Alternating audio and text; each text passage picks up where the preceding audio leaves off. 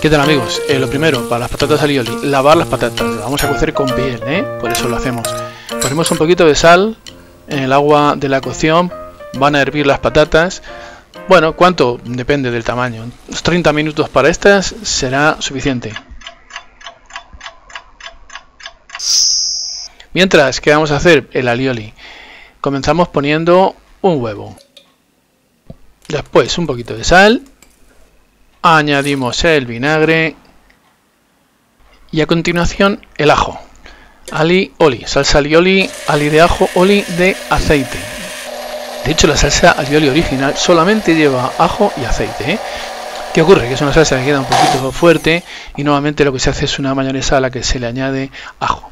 Bueno, pues aquí, aquí la tenéis. Queda con una densidad importante. Tanto es así que para esta receta, que son patatas alioli, nos interesa poner un poquito de leche, aproximadamente una cucharada, como veis. ¿Para qué? Porque quede una salsa un poquito más fluida y agarre mejor a la patata. ¿Veis cómo queda? Este es el punto ideal. Ahora entra el perejil picadito. A mí me gusta ponerlo cuando hago la salsa alioli y no en el momento de servir a las patatas. No, no, no. ¿Por qué? Pues porque así va cogiendo la salsita el sabor del perejil.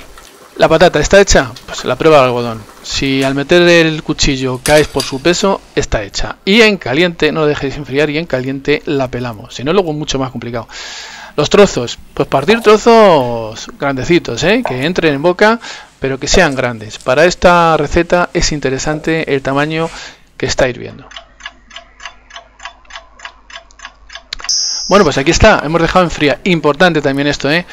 Eh, que esté tanto el, el, alioli como la patata que esté en frigorífico, que esté fría, porque esta receta se sirve fría.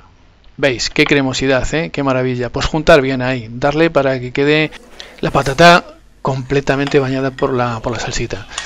Esta receta decía hay que servirla fría, ¿eh? Es importante eso. La ración, bueno, eso a gusto de cada uno y a la necesidad de cada uno. ¿eh?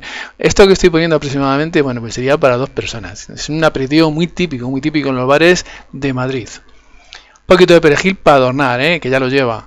Y esto como va a ser una lucha, pobre quien coge la más grande, no pongo palillos, pongo sables. Y amigos, ¿qué deciros? Pues que, que al combate. Venga, hasta la próxima.